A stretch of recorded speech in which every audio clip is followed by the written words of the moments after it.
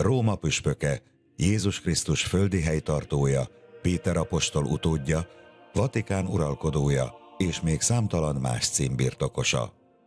Ő a pápa. De vajon mivel foglalkozik a Szent Atya? A hétköznapok során milyen eszközökkel irányítja az egyházát? Miként alakult a szerepe az évszázadok során? Péter utódjaként Krisztus akaratából következően az egyháznak valamiféle vezetése. Az változott, hogy ezt a vezetési funkciót melyik korban, mikor, hogyan fogták föl az első évszázadban, amikor még a püspöki struktúra sem alakult feltétlenül ki minden egyházi közösségben.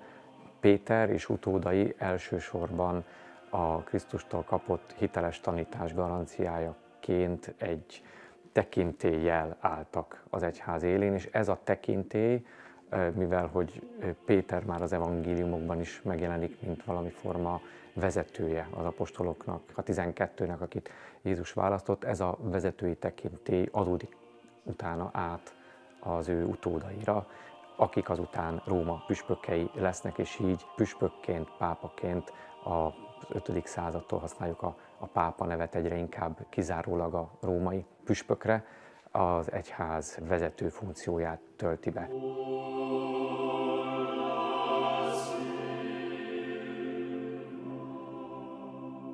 Meg kell erősítenie a hitben a testvéreket. Tehát a hívőknek a hitét meg kell erősítenie, meg kell mondani nekik, hogy mi az, ami beletartozik abba, hogy katolikusok vagyunk. Mi az, ami hozzátartozik Jézus Krisztus tanításához.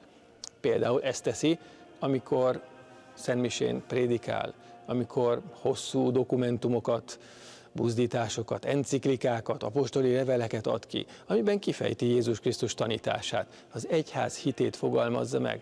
Aztán van egy olyan speciális eset is, amikor, amikor valamilyen vita támad az egyházon belül, hogy mi tartozik tényleg hozzá ahhoz a magjához a, a hitnek, a hit letéteménynek, amit Jézus az egyházra bízott, és akkor Péter utódának, a római pápának az a feladata, hogy meghatározza azt, definiálja azt, és akkor egy ilyen különleges kegyelem, egy különleges biztosítéknak a birtokában, amit Jézustól kapott Péter apostol, ki tudja nyilatkoztatni az ő tanítói székéről, latinul ex cathedra, hogy mi az, ami hozzátartozik az egyházhitéhez, és mi az, ami nem.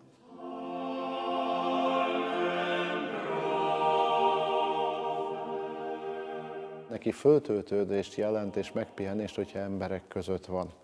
Tehát szívesen vállal olyan helyzeteket, ahol nem formális módon is találkozhat. Ugye egy formális mód, amikor audiencia van, amikor eh, zártabb vagy nyíltabb körű kiallgatás keretében hivatalos diplomáciai fogadás van, de hát az informálisabb része az, amikor ott maradok a szerdai katekézis után a Szentpéter téren, hogy a szektorokba lemenjek, találkozzam betegekkel, fogyatékkal élőkkel. Tehát világos, hogy a pápának ez egy furcsa adottsága, ami egyébként, bocsánat, hogy így mondom, elemészti az idejét. Ő ilyen szempontból egy eh, sajátos ember, mert sokszor azt mondják, hogy Ó, hát mennyire lemerítő egy ilyen tömegrendezés, milyen jó, amikor végre magam vagyok a szobámban, ő pont fordítva működik. Ezzel együtt a pápának rengeteg időt kell a szobájában tölteni, hiszen a dikasztériumi szerkezet, a vatikáni hivatal szerkezet, ami a keze alá dolgozik, rengeteg dolgot előkészíthet, de van az ügyeknek számos olyan köre, amit más